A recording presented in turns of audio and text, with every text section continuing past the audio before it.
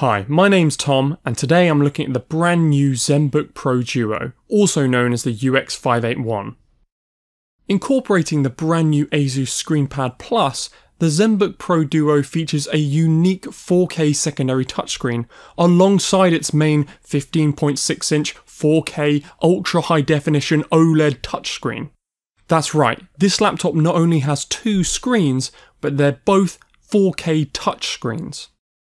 What's more, the primary display has ultra slim bezels, giving you more screen in a smaller package, a whopping 89% screen to body ratio to be exact.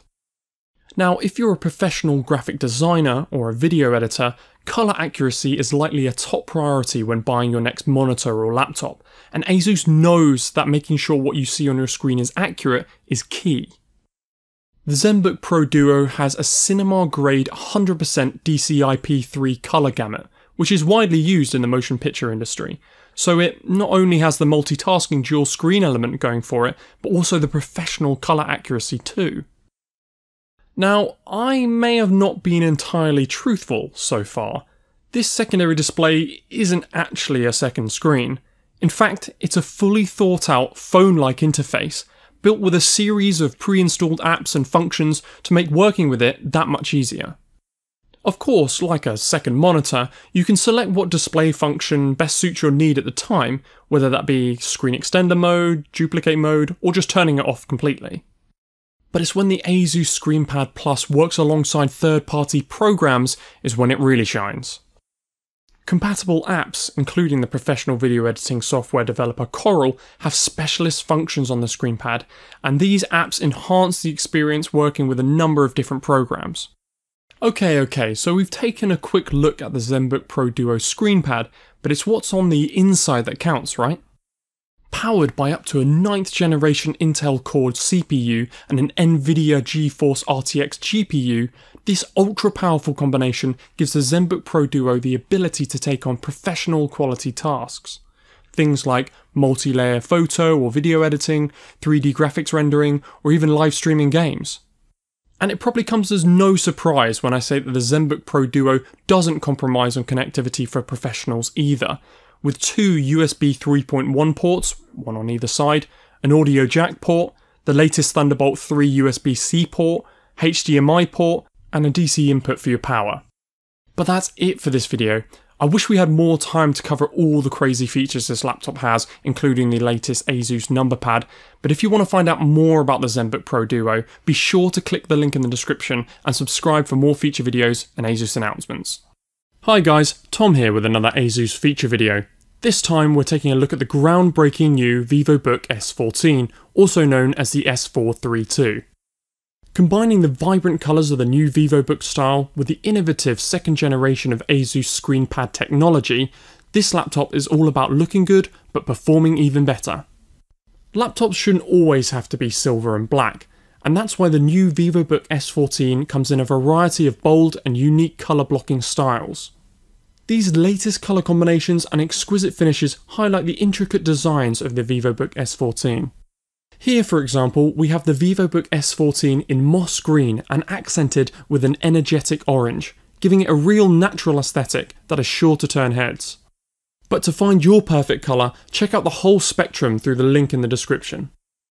Now it's pretty much impossible to speak about the VivoBook S14 without mentioning its brand new feature, the ScreenPad 2.0. Designed to upgrade your traditional laptop experience, the 5.65 inch interactive touchscreen unlocks endless possibilities. Utilising a smartphone like interface, the newly optimised screenpad ensures your favourite apps such as Evernote and Spotify work perfectly on this secondary display, without the need for a screenpad specific version. Asus have also pre-installed a selection of apps designed to work with Microsoft Office programs, as well as working closely with other third-party developers, including video editing software developer Corel, and as development continues, there is much more to come. But that's enough about the secondary display, let's talk about the main event.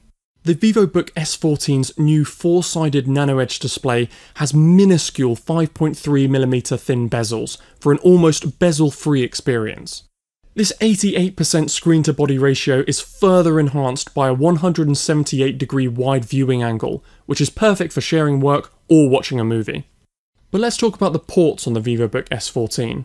On one side we have two USB 2.0 ports and a microSD card reader, and on the other side we have your power input, HDMI port, USB 3.1 port, USB-C port, and your audio jack.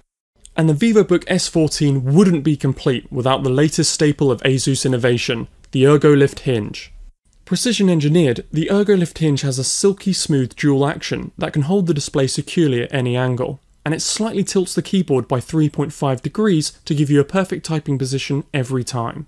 And to make the deal even sweeter, the VivoBook S14 comes as an ultra portable package. At an ultralight 1.4 kilograms and just 18 millimeters thin, you can simply slip it into your messenger bag or backpack and away you go.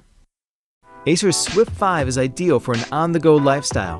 It's so light you forget you're carrying it. This 15.6-inch laptop is packed with great features and weighs under 1 kilogram. The Swift 5 is made with lighter yet stronger materials, magnesium aluminum and magnesium lithium alloys. Micro-arc oxidation creates a durable finish. There's no need to worry that this lightweight device can't handle the challenges of daily life. Just slide it into your bag and go about your day. With the 15.6-inch Full HD IPS display and a 5.87mm bezel, you get more screen space in a smaller chassis. Its screen-to-body ratio is 87.6%. That's right, 87.6. So it's great for watching movies and enjoying other content. Guess what? It also has a touchscreen, allowing you to multitask without missing a beat. You can easily interact with a whole range of apps. The Swift 5's 8th gen Intel Core i7 processor helps apps load faster and allows multiple tasks to run simultaneously without lag. Next generation wireless technology is up to 5 times faster, so you won't be kept waiting and waiting and waiting when you move or upload files. Leave your battery charger at home because this laptop will work up to 10 hours straight. Forget about the extra weight and wires in your bag.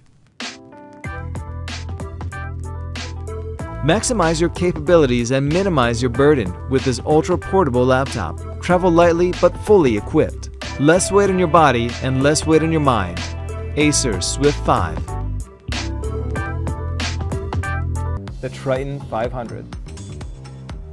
Like the 700 before it, the 500 is all metal and has a Z height of 17.9 millimeters and weighs in at around 2.1 kilograms, making it the ideal go here, go there, play anywhere machine. And if you do travel, chances are you have plenty of peripherals in tow. But with the 500, you have plenty of ports.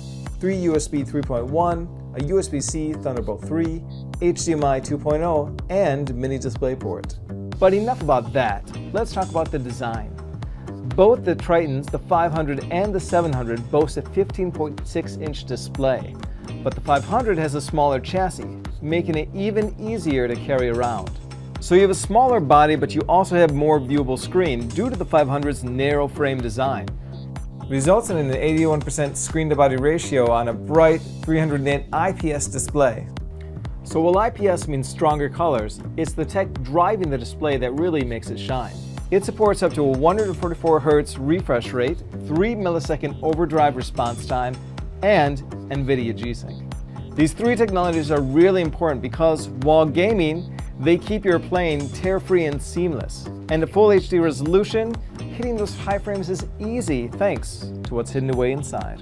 So, what have we hidden away in the aluminum frame? We have a 6-core, 8th gen Intel Core i7 8750H processor, overclockable GeForce RTX 2080 with Max-Q design, 32 gigabytes of DDR4 RAM at 2066 MHz, and two M.2 NVMe PCIe SSDs in RAID 0, with 1 terabyte options available this is seriously a lot of power in a small chassis, which is why, when it comes to thermals, only the best would do. Like all Predator laptops, the Triton 500 uses our custom AeroBlade 3D fan technology, the latest of which was inspired by Silent Owl flight mechanics. The newest generation provides superior cooling over previous gens while reducing overall noise. Add in the three-fan cooling system and five copper heat pipes and you have a system designed to maintain a constant chill. Okay, now let's talk about the keyboard.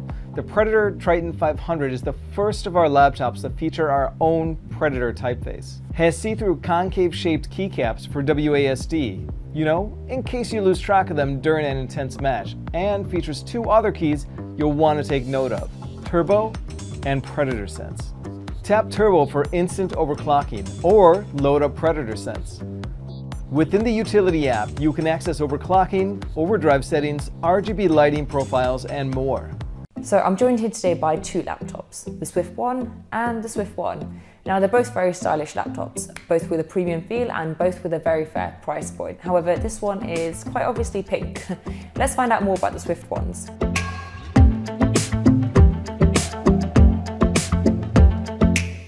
First off, they look and feel high end. They have an all metal chassis that comes in four colorways, I believe. So the two I have in front of me are Sakura Pink and Sparkly Silver.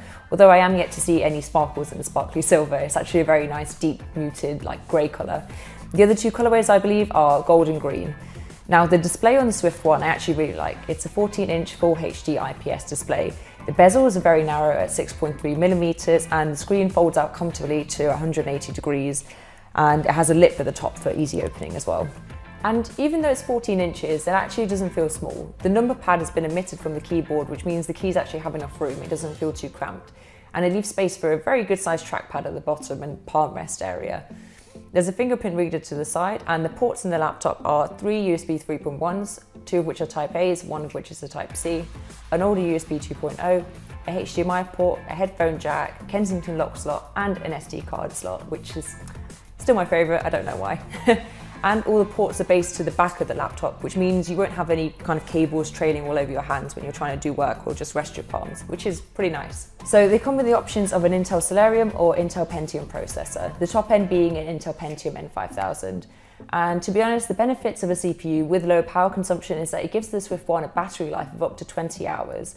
This paired with the fact that it weighs 1.6 kilograms means you can just throw it in your bag, not even take the charger with you and kind of forget it's there. It's definitely a laptop to take out and about with you. It also comes with Intel's integrated UHD graphics, up to 8GB of DDR4 RAM and up to 256GB of SSD. Overall, I actually really enjoyed the Swift one. I didn't know if I would, but I definitely do. I think the look is very premium and the colours, come on, they're just fun. I mean, Sakura Pink, that's, it's whimsical and it will definitely get some attention if you ever whip this bad boy out in public. So yeah, let me know what you think down below of the Swift ones and if you would get one, which colour you'd get.